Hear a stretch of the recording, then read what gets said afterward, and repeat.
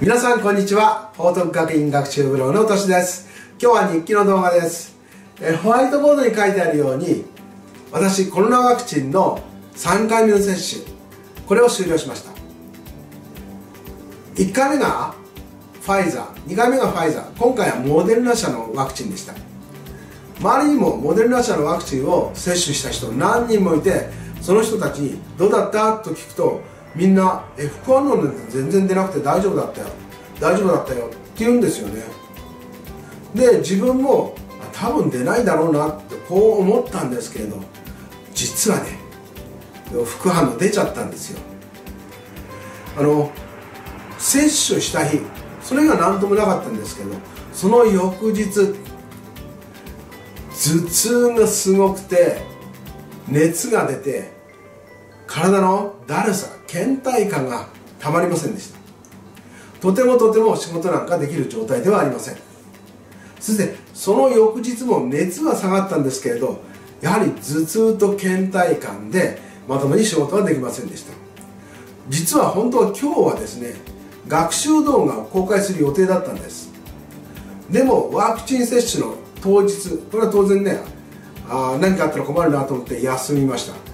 で副反応で2日休んで3日間結局学習動画撮ることができなかったんですよね。それで本当は今日公開予定だった学習の動画これも撮れなかったんです。これは本当に申し訳ありません。でもようやく元気になりました。ですからまた今日から学習動画を撮り始めます。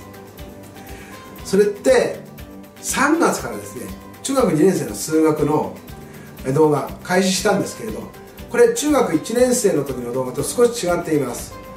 中学1年生の時の動画はだいたい10分以下くらいでまとめてあると。こういう動画だったんですけど中学2年生の数学の動画は、えー、中学2年生数学ミニとしてミニという言葉がついています。これは1年生の学習動画の半分くらいの長さ。またはそれ以下の長さで動画の長さで一つの項目これも一つの動画の中で覚えようと。こういう形で作ります。今日から撮影を始めます。で一つの学習つまり動画の中で覚えることはたった一つのことなんですよね。ですから多分皆さんも分かりやすいんじゃないかなと思います。で動画を見てあ分かった。でもここで終わってほしくないんです。分かった。